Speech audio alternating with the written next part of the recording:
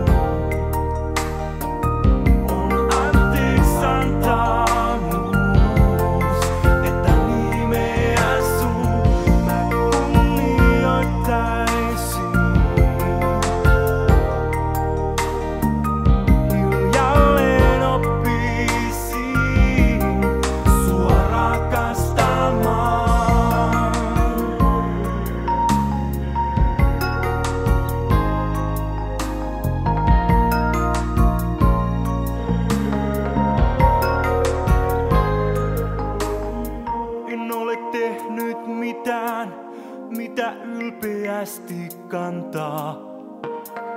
Enkä tiedä mitään, mitä muuta voisin antaa. Kuin ota käsisi.